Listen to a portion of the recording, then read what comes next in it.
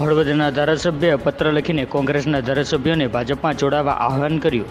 પાંત્રીસ હજારની લીડથી જીત થતાં મારા વ્યક્તિગત તકલીફ પરસોત્તમ સાબરિયા રાજ્યસભાની ચૂંટણીમાં ભાજપને સાથ આપવા આહવાન કર્યું. કોંગ્રેસ પાર્ટી કરતાં ભાજપમાં વધારે માન સન્માન મળ્યું.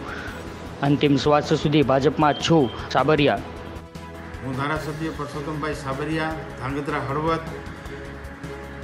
હું ધારાસભ્ય તરીકે હતો.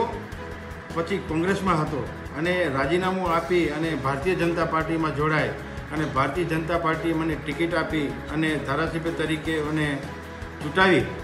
અમે કોંગ્રેસ કરતાં મને વધારે માનપાન અને સન્માન મળી રહ્યું છે ભારતીય જનતા પાર્ટીમાં.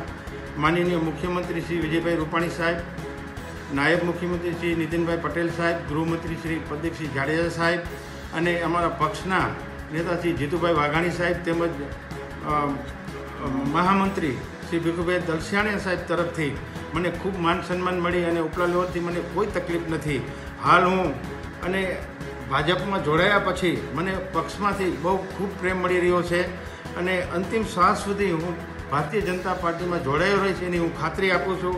હાલની કોંગ્રેસની સ્થિતિ જોતાં મને હાલે રાજ્યસભાની ચૂંટણીમાં જે પ્રકારે કોંગ્રેસની હાલત થઈ જાય જોતા ભારતીય જનતામાં હું બધા ભારતીય જનતા પાર્ટીમાં આવું એ યોગ્ય હતું અને હું તમામ કોંગ્રેસના લોકોને કહેવા માંગુ છું કે તમે પણ કોંગ્રેસ છોડી ભાજપ ભાજપનો ભગવો પહેરી પહેરી લ્યો.